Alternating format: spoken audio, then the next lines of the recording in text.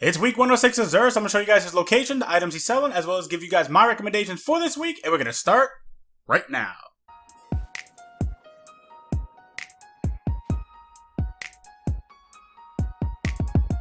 What's up guys, Reckless here, welcome to Guardian Watcher. So it is week 106 of Xur. But before we get into the video, if you guys enjoyed the video and would like to see more Destiny 2 content as soon as it's released, then go ahead and sub to the channel, turn on notifications, follow me on Twitter, and also go ahead and join the Guardian Watcher Discord. It's a growing LFG community where content creators and streamers can also post all of their Destiny 2 videos and post when they go live. A link to the Discord will be down in the description box below. So, Xur is located on the EDZ, by the Winding Cove in this area right here. So let's go find out what he has this week.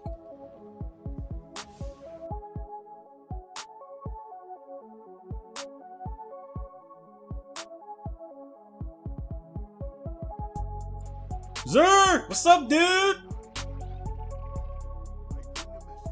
So, like always, we're to go ahead and start with the left-hand side. We have the weapon of the week, which is the Colony. It is an exotic grenade launcher. Then we have the Orpheus rig for the Hunter, the Karnstein armlets for the Warlock, as well as the Ashen Wake for the Titan. Let's go ahead and start with the weapon of the week.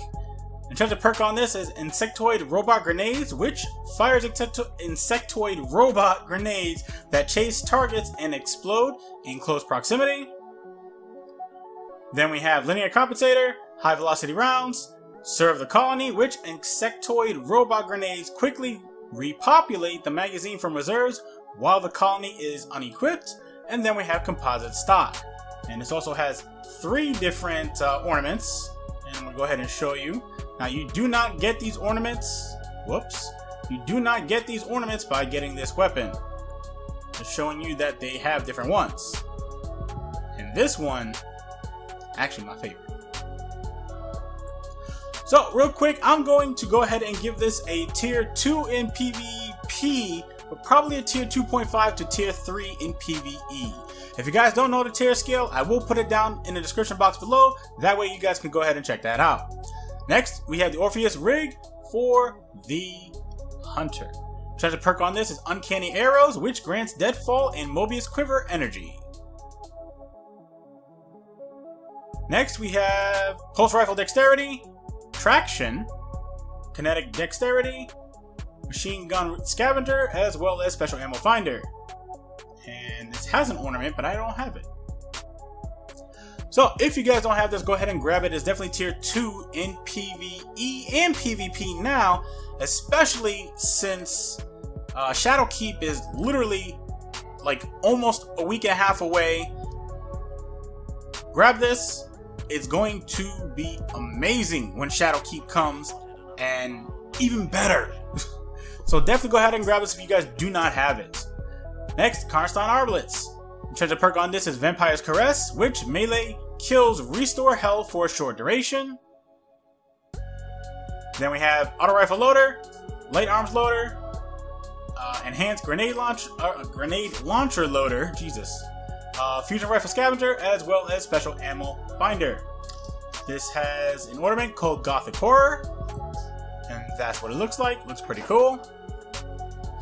Now, if you guys don't have this and you are a Warlock, go ahead and get it. It's definitely Tier 2 in PvE as well as PvP, and an argument could be made for Tier 1 or Tier 1.5, um, but definitely a good exotic to have. Definitely in the top 5 exotics for the Warlock, so go ahead and grab that. Next, we have the Ashen Wake for the Titan. Potential perk on this is Bring the Heat, which gives you improved fusion grenades.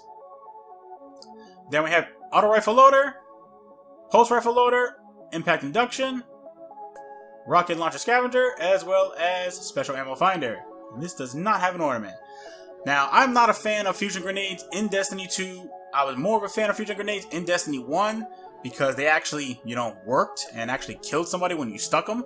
Unfortunately, they don't do that no more and haven't done that since Destiny 1. Therefore, fusion grenades are probably better on in PvE than it is PvP, unless you're trying to finish someone off. So, I am going to go ahead and give this a tier 2.5 in PvP, but a tier 2 in PvE. It's not bad, but like I said, unless you're finishing someone off or you, you know, already um, throw the grenade and then you start hitting them with your uh, weapons, I really wouldn't get this. Then we have your consumables, which gives you your Nightfall Challenge card, invitations if you're like me and still haven't done it, and then last but not least, we have your Fated Engram, which gives you Forsaken Exotics. If you do not have one of these, go ahead and grab this before you grab the Fated Engram because you do have a chance to grab one of these inside that Fated Engram. And then that'd be a waste of Legendary Shards.